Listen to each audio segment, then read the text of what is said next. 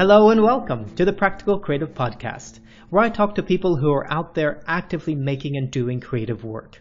I want to know more about their materials, their processes, and what it is that motivates or inspires them to keep creating.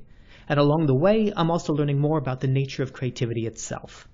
I'm Jeremiah Krage, and in this episode, I'll be talking with potter Keith Brymer Jones. Some of you may know Keith from his appearances as a judge on the BBC's Great Pottery Throwdown here in the UK. What you may not know is that Keith is also an entrepreneur, running two businesses, one selling his own work and the other translating the artwork of other artists onto other media. And in this conversation, we talk about how the discipline that Keith learned as a production potter helps to drive his work today, how he balances running his business with his own creative practice, and even how running that business actually enhances his creative work. We also talk about the importance of identifying your strengths and weaknesses and even knowing when to ask for help.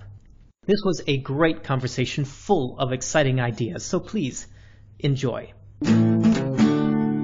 Hello, uh, I'm Keith Brymer Jones, and I uh, I own a company called Make International, and I design mostly, predominantly uh, ceramics because I'm a potter, and we also do fabric and tin and glass and all sorts and we sell to about 30 or 40 countries around the world. And I'm sitting in my studio in Whitstable in Kent at the moment. You were working in other materials beyond the, the ceramics. So you mentioned tin, for example. How, how does that work? So, so, so basically, um, uh, Don, my business partner, and I formed a company, oh, some few years ago now, called Make International. And basically, Make International is an umbrella company, really, for taking on different brands. So obviously our core brand is the Keith Brymer Jones word range and, and various other ranges that, that I do. But then underneath that, um, we have a Jane Foster or uh, a brand called Bert and Boy or Suki. And basically, uh, we start off with developing ceramics for those particular brands uh, or designers or illustrators. And then if I feel uh, we can scale that up into other product areas like fabric or glass or tin, uh, we do so. Um, and so we have a, a, kind of a quite a broad spectrum of factories that we work with uh, in various places, mostly the Far East, but uh, India, uh, some in, in Europe, and so forth. And we produce and develop products under those particular brands. So I don't know if this question is relevant to you. Then, uh, like, do do you have a typical day in the studio? And, and if you do, what does that look like? God, I, I wish I did. I wish I did. Uh, basically, um, I used to have a typical day, uh, and the typical day used to be I, I, I roughly sort of start around six six thirty in the morning.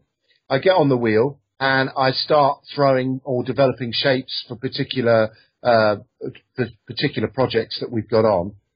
And I really like working very early in the morning uh, because come nine o'clock, I tend to find that I feel like I've achieved something.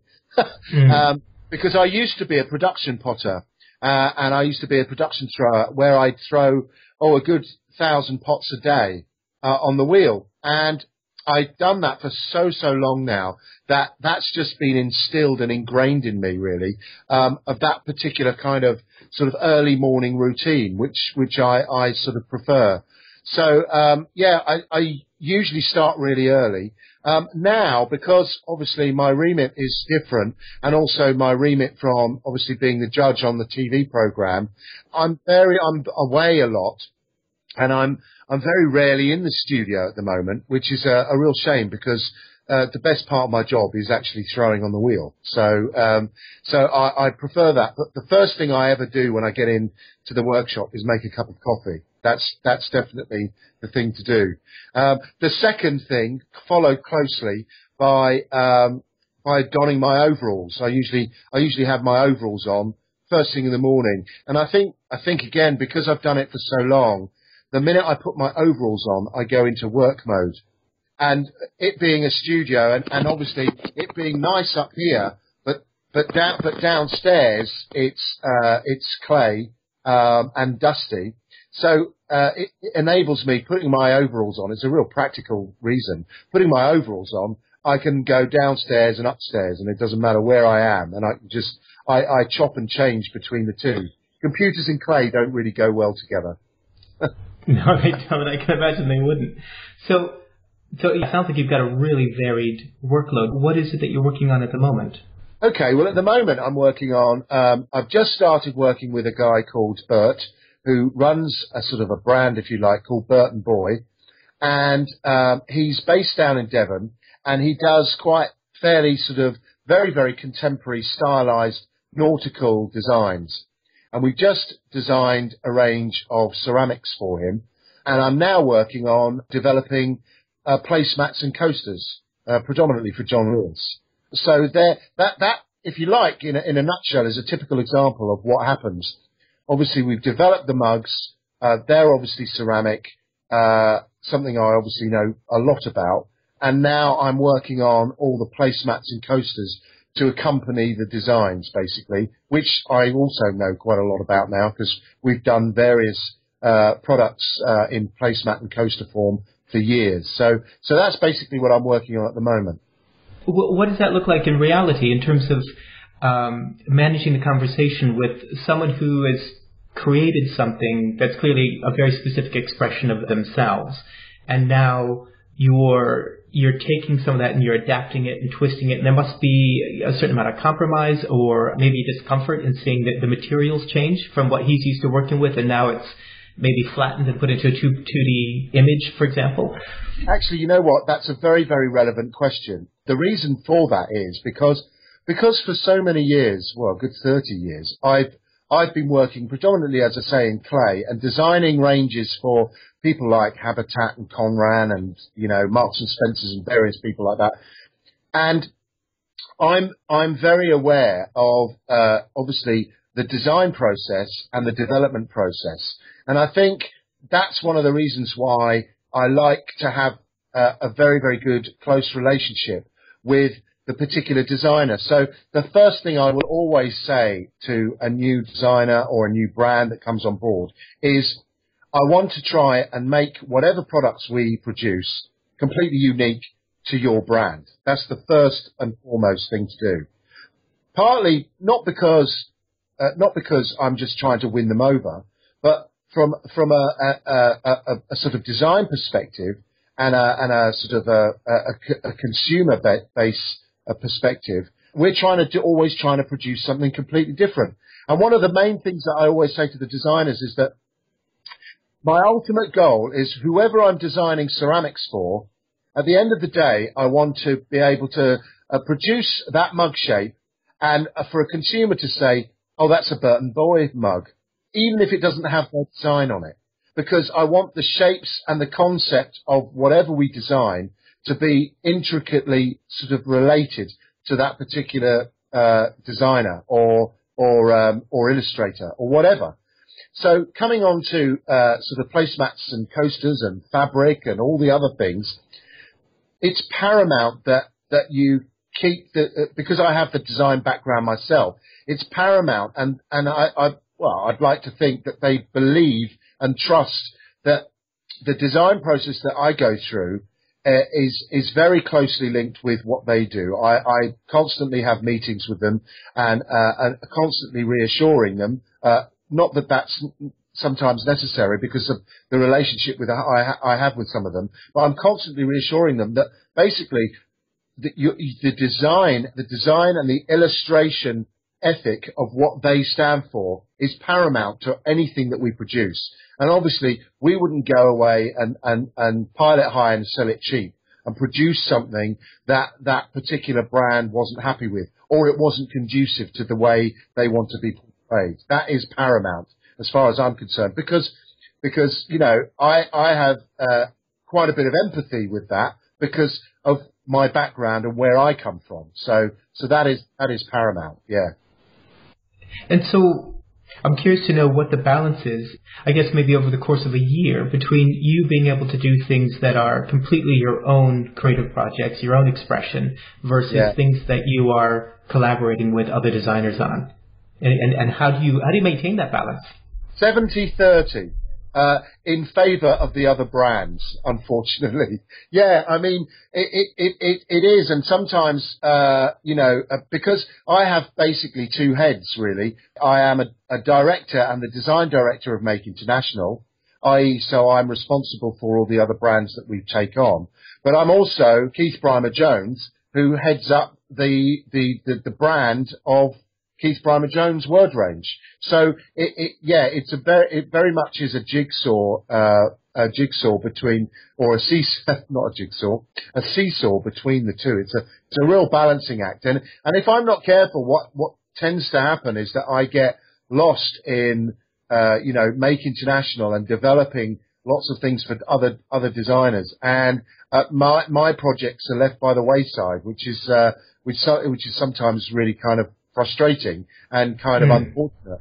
But um, but what, what what's happened recently for me is um, because I've because I've been doing this TV show and because I've been in touch with a lot more potters and ceramics people uh, because of the various events that I, I attend or talk at or whatever, I'm getting really, really infused and more involved and intrigued in the different creative ceramic processes that I can do within a mass production setting. So I'm, I'm really looking forward to, in the next couple of weeks, really experimenting downstairs with the various techniques that I want to, want to try and achieve for not only my brand, but, but other, other brands as well. Yeah. I mean, uh, so I'm, I'm very much sort of infused about the different clay and glaze reactions that one can get. And, and I've been inspired basically by, by the potters I've met recently and, and doing the throwdown, doing the show. It's been great.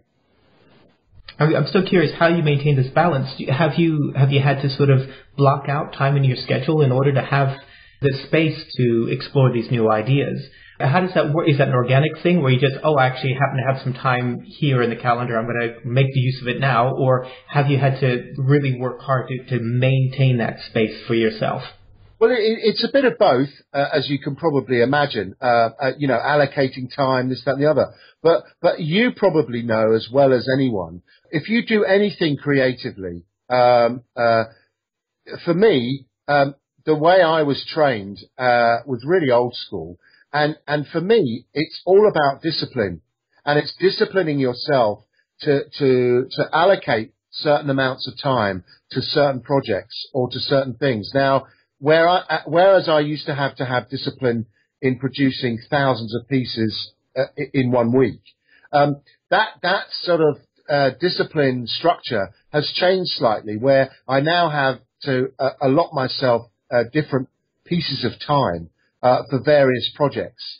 And, and, and it's within those different pieces of time. That's when you have to be really disciplined and focused on one particular project and and for me, uh, that I find that really hard to do because also, as you probably aware, that when you're creative, you, you you're buzzing around do, trying to do loads of different things, and things fly into your head, ideas fly into your head all the time, and you're you're sort of almost constantly chasing yourself uh, until you you finally get uh, get projects finished and, and, and signed off. But but but really, the main thing uh, I would say anything creatively, it's it's discipline because that's the way I was taught. Uh, discipline, discipline, discipline is the, is the real thing. You, you, I know you hear of, of artists and, and, and creative type saying, "Oh, you know, um, you know, I'm just really free, and I'm, you know, I just let things just just happen, and this, that, and the other."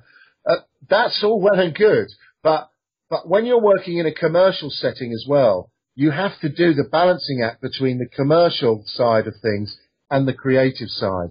Um, mm. And I think that's why uh, it works so well here because I've I've always got that commercial side uh, in the back of my head. I'm always thinking of timelines, deadlines of when we've got to launch product in for for, for the next season or whatever. And and that's that's really where I really have to focus on on on various timelines really.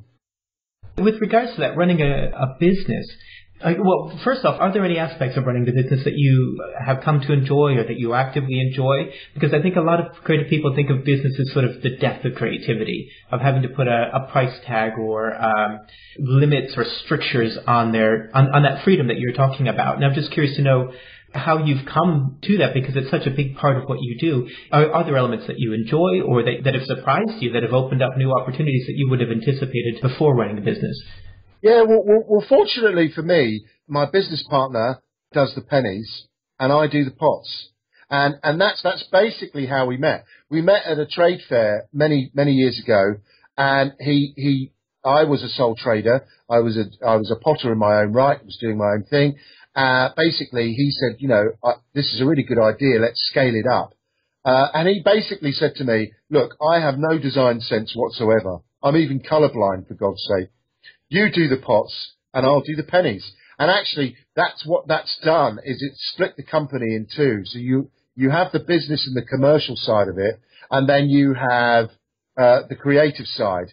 And what, what happens is that when Dom and I get together, we definitely argue the toss over what I, I feel is a really good product and what he feels he can sell. There's definitely that friction there, uh, but, but it's a healthy friction uh, and it's a realistic friction. And um, and for me, um, you know, because because we have to sell things to to actually actually survive and make money, it's very important to have that um, that sort of observation on on the creative side of the business. Also, there's nothing like working on a project, a particular project, to uh, to focus the mind and to take you in a certain direction. And it's interesting because, you know, pottery, uh, you, you know, you start with the idea. Well, ideas are infinite, hopefully, if you're, if you're that, that way inclined. You then start with the clay. The clay, again, could be fairly infinite. There are myriad of clays that you could use. You then start with the decorative techniques. They are infinite. You can, you can, you can decorate and glaze uh, till you're blue in the face, um, and you could then start all over again. Um, so, so having having a having a kind of a focus or a or a particular project actually is a really way good way of achieving the maze and the labyrinth of going through through the end result. Because I know potters that that really just they never stop testing. They never stop sampling, and that's great if you have that opportunity. But but uh, if you're working um, to earn money to eat, you you've got to have a focus on what you do. And what you find is that, that at the end of that project or at the end of that particular uh, answer, if you like, you have a new skill or a new development uh, or a new um, decorative technique that you've never used before, and and you know, you can then use that uh, for future reference. And I find that really, really inspiring. And, and uh, I find that, that, that, that for me really helps me. Uh, and the other thing, uh, obviously owning a business, um, I travel a lot. Um, I travel a lot to China, uh, to India, and various other places. And um, it's great meeting the various people and the various techniques and factories and craftsmen's craftsmanship that you come across, and I I absolutely love that. I, th- I think it's great. I love seeing how things are made. I absolutely love it. Mm, mm. So it sounds like the, the, the, running the business actually gives you a, a, a structure in, almost in your creative life because it, it's giving you almost like mini briefs to work to that yeah. then yeah, that might then direct a different avenue of investigation. So how much space is there for taking risk?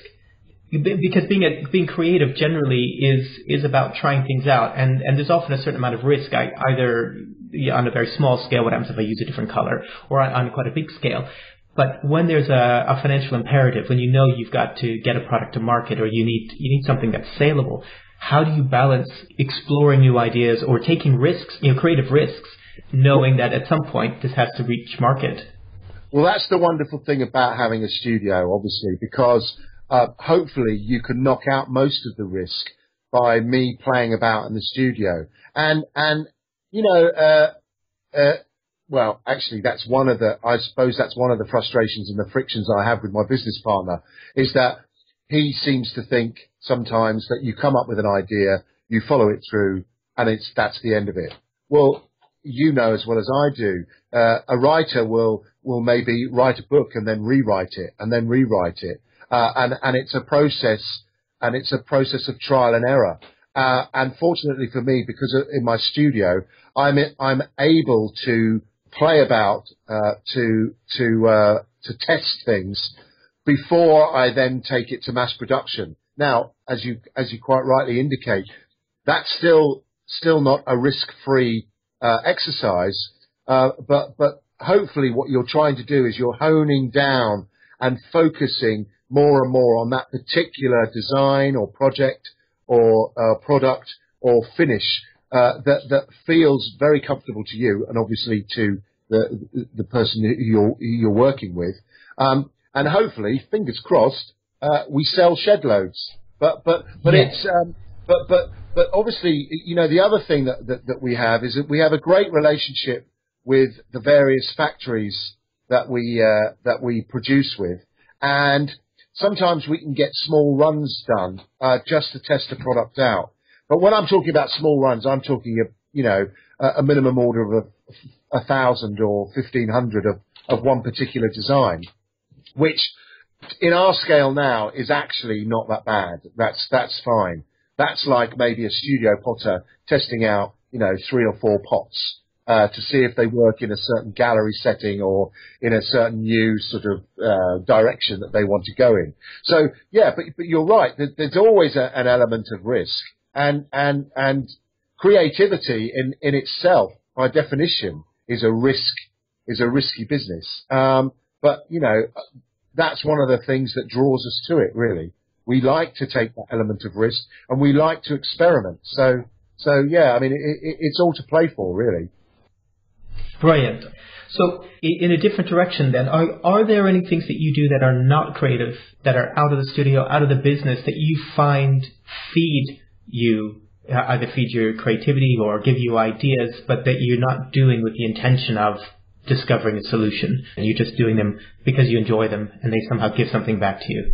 Yeah, yeah. Um, swimming, walking, and looking at buildings. Uh, I love buildings, um, and maybe that that that because it t- ties into my uh, dyslexic uh, tendencies. Um, I suffer from dyslexia not not too much now. I mean, you know, you, you get to you get to learn how to how to uh, to use that dyslexia. And uh, I don't know whether you're aware, but but dyslexic people have a a much uh, a better sense of form, um, volume, space um, than than most uh, other people that don't. Um, I did not know that. No, well, there's a large percentage a large percentage of architects are dyslexic. Norman Foster is is dyslexic, um, and and it's they have this great affinity with with shape, form, and volume and space, and um, and I live down by the sea, and uh, and, and and walking and swimming for me is a great release, um, just to let your your your head just uh, try and empty your head and fill it up with other things other than what you're working on at that particular time.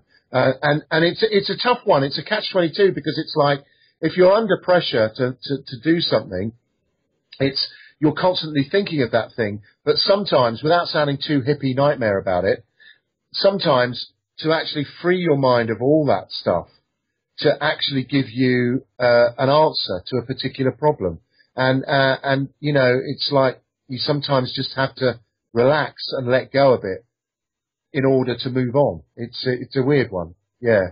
Yeah. Mm. No, I, I completely understand that. I think it's almost creating space for the subconscious to to rear its head and say, "Hey, actually, I got this other idea," or "What happens if we put this together with that?"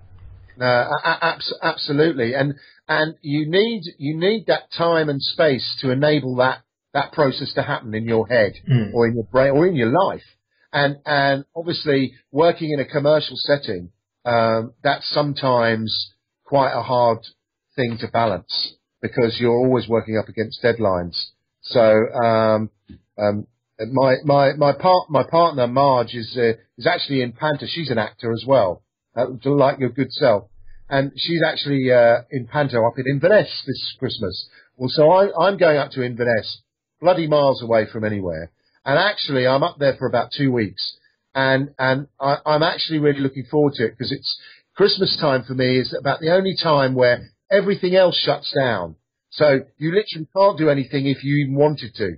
So it's a, it's a great release and it's a great time to sort of reflect and and really think about what you're what you're doing and where you want to go. So Mm. yeah, Brilliant. Okay, I've just got a few more questions for you, if you don't mind. yeah, sure, yeah, go. Wh- Who are some creative people that, that inspire you, and why? What is it about them that uh, draws your attention? Right. Well, my my, my hero uh, in, in in in the pottery world is a guy. He's not alive anymore. Uh, is a guy called Isaac Button. Yeah, look him up. Isaac Button. He was a total nutter. he what because basically he he would produce thousands of pieces. But what I liked about him was his creativity within his discipline, um, and and uh, he very much a traditional potter.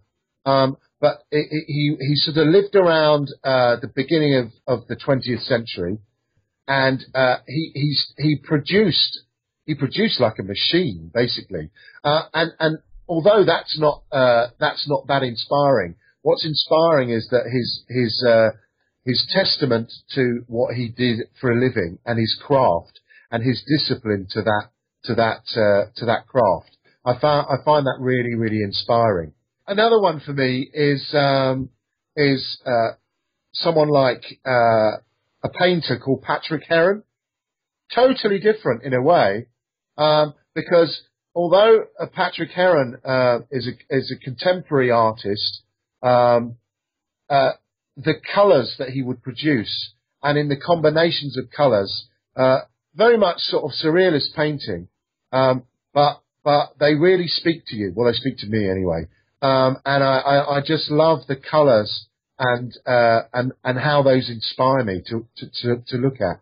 Um, and again, I, I keep on coming back to this word discipline, and, and for me, that's that's the key in, in, in creativity, which is a kind of a it's it, it's it's almost a, a conflict of interest because you don't want to be too disciplined because you can't be creative, but but you you have to have that discipline within your craft. You probably know that as an actor, you have to have a discipline and a focus in what you're you're trying to achieve within a certain character, but within that you then you can be as free forming and uh, uh, as, as as you want to be. But it's that discipline and focus to your particular craft that I'm particularly interested in. So, so, many people within the, the craft sector have so much time to explore ideas, but I feel like there's often a really big gap between uh, having a great deal of skill, uh, manual skill or, or imaginative skill, and actually taking that to market and turning it into a business and a viable business. Yeah, absolutely.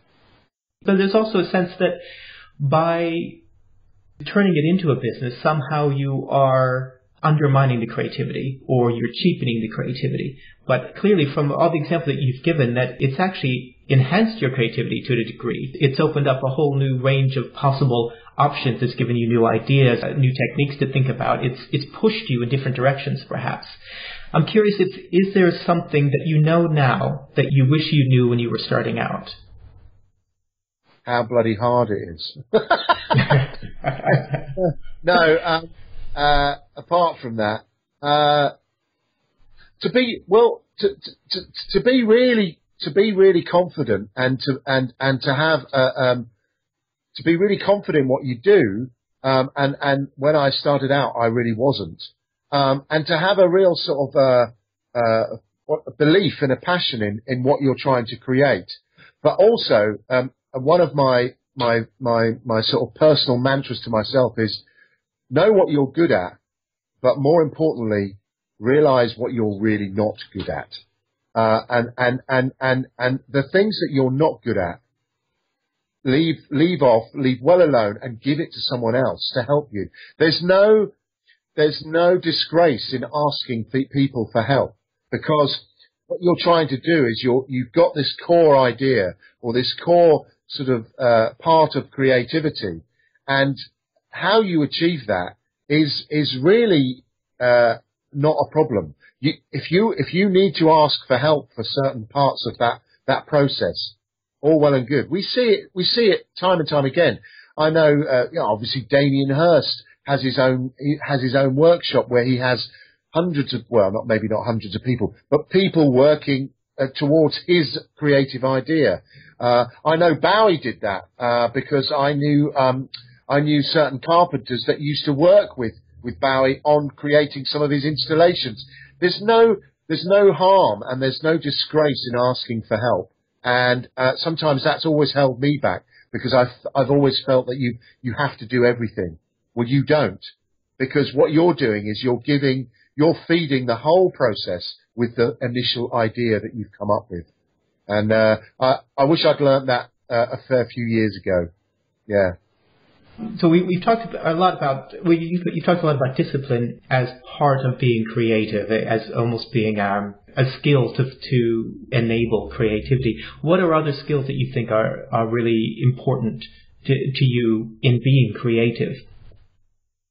Uh, to, to, well, I, I, I, mean, you know, again, not without not sounding like a hippie nightmare, um, because if anyone looked at me or looked at my business, they would never think of me as some kind of holistic, uh, free-thinking kind of guy. Because as you as you you've quite rightly pointed out, we're in a very commercial, very real world.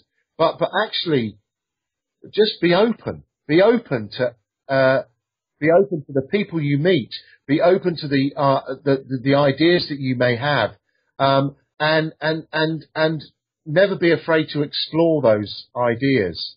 Really, uh, openness within oneself is is really the, the key to to creativity, man. Without sounding too hippie, but but it really it really is, and I know when I'm far more relaxed, I'm far more creative. Um, that's just me. I mean, for some people, you know, they like the pressure. They they they, they thrive on that pressure.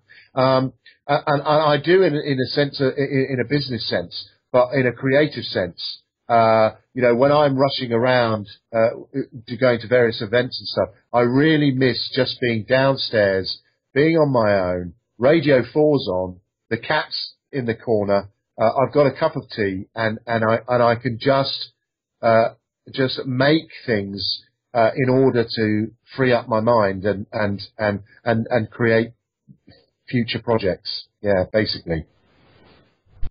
Um, do, do you think anyone can be creative?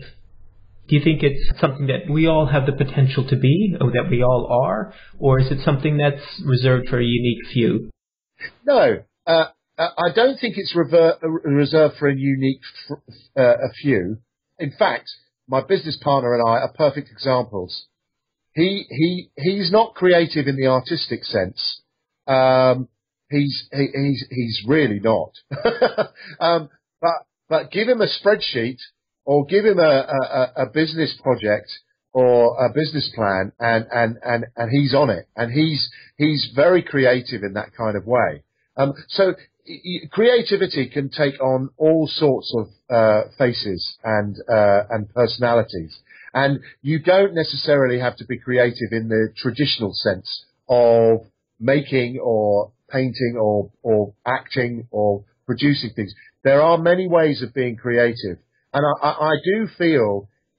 I do feel uh, this might sound like a very large statement now, but I, I feel we are, we're all creative. It's just finding that that path of creativity, creativity within oneself, and it might not be uh, it might not be singing, or it might not be pottery, or painting, or carpentry, but it may be in uh, organising a department in a in a big uh, civil servant uh, organisation. I'm just really taking it to the other other spectrum. Um, so so yeah, I think creativity is always there in everyone, um, but it, it but I, I, I, I would have to admit that quite a lot of people in the world do ne- never find that creative path for themselves. And the ones that do, uh, uh, are very, very lucky. Yeah. yeah. Yeah, absolutely. So if I were to give you someone like Dom, like your business partner, who, who identified as non-creative, and you were going to give them one thing to do that might convince them otherwise, what would that be? That's a tough one. Um, I'm not so sure. I don't. I I don't know. Uh, Because I think I think it's interesting because maybe it's it's not even giving someone a, uh, something to do. It might be reframing um, yeah. their perception of creativity. So as you did, you were saying that there are different ways of being creative, and it isn't necessarily in what we would normally call the arts or you know with artistic materials, but with a spreadsheet, and, and that that is its own skill well, base. Well, here you go then. I would probably get him to sit in the workshop for uh, a day or so, uh, watch me do something, or sit him in a factory and watch him uh, how the process is made, and then I would then get him to create uh, a timeline and a process within that, um, and and then to see if we can achieve any different ways of of of, of doing that process to see if we could improve upon that. Um, and I think that's that's probably where his skills best lie, really. Yeah, yeah. That's a great example. Yeah, because because um, as you quite rightly say, no, creativity is not just in the aesthetic, uh, and and um, and and there are many there are many forms of creativity. Yes, absolutely. Mm. So uh, another tough question: How would you define creativity? Okay to create something that has never been created and that speaks to people. That's it. Okay. To That's very concise. That's never been created and that it, it, it, it speaks to people or people can empathize with it. Um, uh, and I know that's a very, very general statement, but I think that probably just covers everything. And, uh, and, and, and, and for me, I'm always trying to achieve something that is different. Uh, and I don't always do that. I don't always do that with the end result, but, but that's what I'm always striving to do. And for me, that is creativity. That is creativity. Yeah. That's brilliant. Okay. So, uh, that's really, really good. That's really concise as well, which I'm well impressed with. Um, I, I, I don't know if you've had time to do this, but I, I, I was asking if you would possibly have a challenge that you'd want to set for, for listeners. If, have you had an opportunity to think about that? Yes, and I, and I have, and, and and and obviously the suggestion that you made, I was thinking of that before I, when I came down the email. I was thinking, well, what would I do? And I saw that question, and and you were explaining what that was that question was about. And before I even saw what you'd suggested, um, and we've done it on the throwdown uh, on the on the on the program. It would be to close your eyes and to do the the discipline that you you may may or may not uh, may already do, i.e., throwing a pot or painting or or, or woodwork or anything. might be might be quite dangerous with woodwork, but but I would I would say, and again, without sounding too sort of airy fairy or hippie, if you close your eyes, it is incredible the sensation you get through your hands and through your perception of what you what you think you're seeing, but what you're touching, and and it could be it could be the feeling of the brush uh, charged up with the with the paint on a canvas. It could be the feeling of the wood and the length of the wood and and the the structure of the of the um, of the grain through the wood before you start cutting it and the pressure that you would need to cut that piece of wood. And I, I tell you, taking away a sense like eyesight and still touching and feeling and uh, uh, trying to produce something is is a, a is an amazing experience uh, and very easy to do because you just need to cl- close your eyes. And it does give you a completely and utterly different perspective on on whatever process that you felt that you uh, you were very very sort of um, uh, uh, uh, familiar with, um, and it does give you a totally different perspective. Um, I wonder what it would be like if you closed your eyes and you you acted out a certain character, but because you couldn't see the reaction of the audience or the reaction of the person uh, observing you, whether you whether you uh, w- whether you were actually getting the reaction you wanted.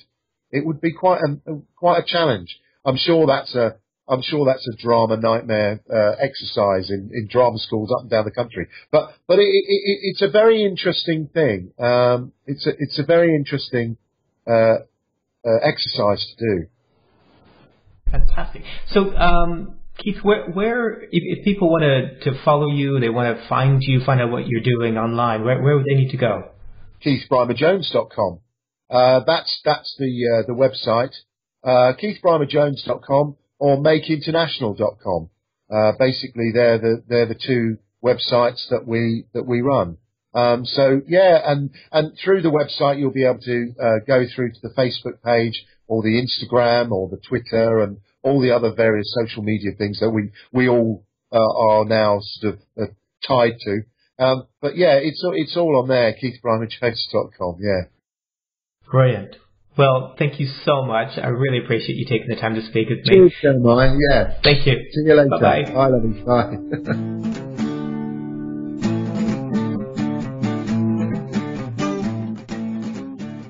Hey there! Thanks for taking the time to listen to this episode of The Practical Creative.